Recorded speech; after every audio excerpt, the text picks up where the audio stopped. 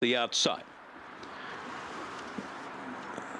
$39,450 as uh, it's about to close. So just a tick under the 40. Set and ready. First of it. Round it comes. Race number eight. Set. Ready. We're off. Getting away.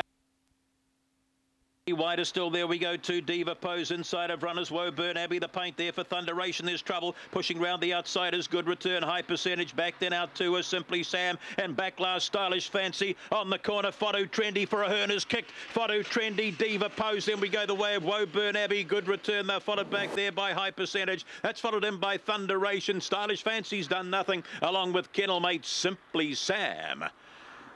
Ella. Whatu Trendy will uh, get you home here at nine ninety and three dollars. Four to beat the seven, the six and an eighteen and sixty-three, running fourteen oh six. So the eight was fourth, and it's just been too strong. A bit of trouble off the top, uh, but this has just jumped and done the job on them nicely.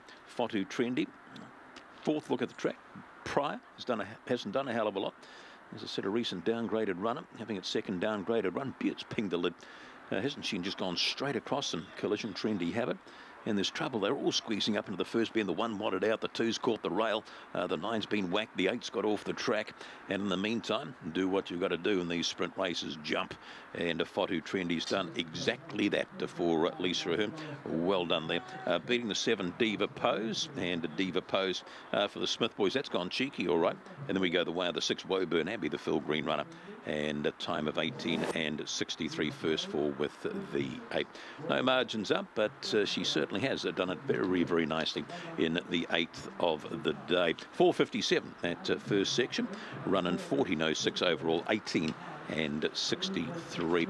There's the first leg, and uh, yeah, just a, a, bit of a turn up here when you're getting towards nine or ten bucks. And, but